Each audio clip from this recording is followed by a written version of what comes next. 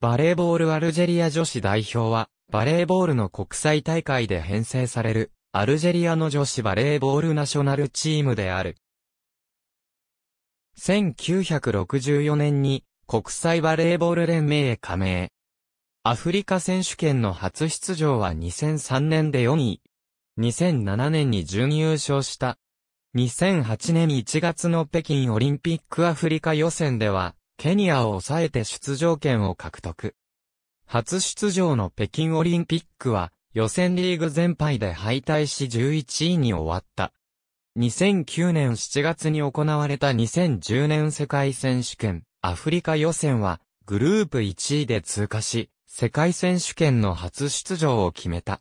同年3回目の出場となったアフリカ選手権で初優勝を飾った。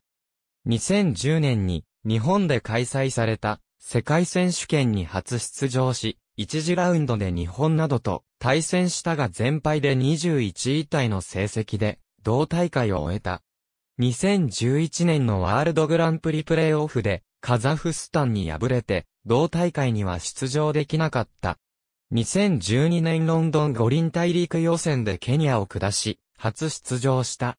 2013年夏のワールドグランプリに初出場したが最下位に沈んだ。